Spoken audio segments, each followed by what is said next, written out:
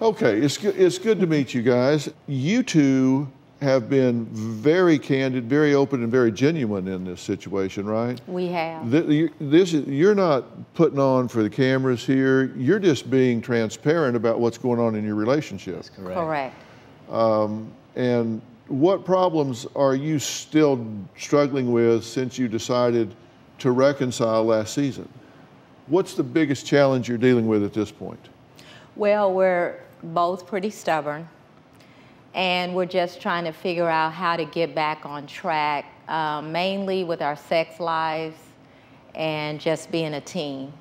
Yes, one of the things Simone talks about is that I don't say I love you enough. You know, I'm more of a, I feel like the action is what I try to show my love. And so I really have tried to do a better job of expressing my love to Simone.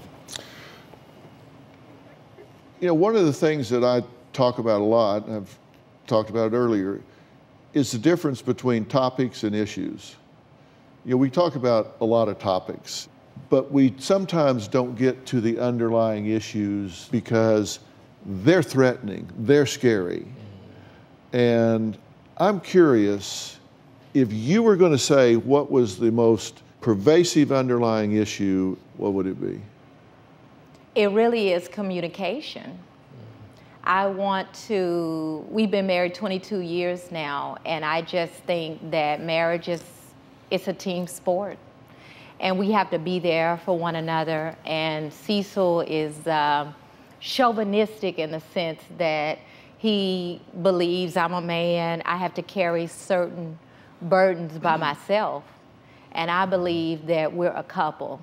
And there is no burden that I would have, no burden that he should have, that either one of us should carry alone. Mm-hmm.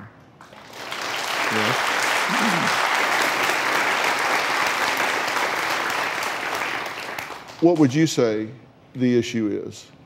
Well, I I think, Dr. Phil, you hit on something that struck a nerve with me, and it's the, I think sometimes an issue is so big that you're, you're fearful to discuss it.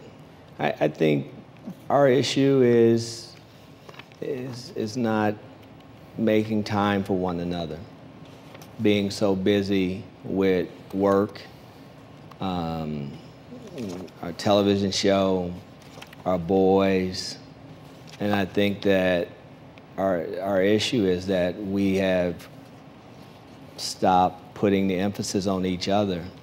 I've watched a lot of footage of y'all. I've listened to a lot of what you've said as we've talked to you. And I have an opinion. Uh oh. Would you like to know what I see?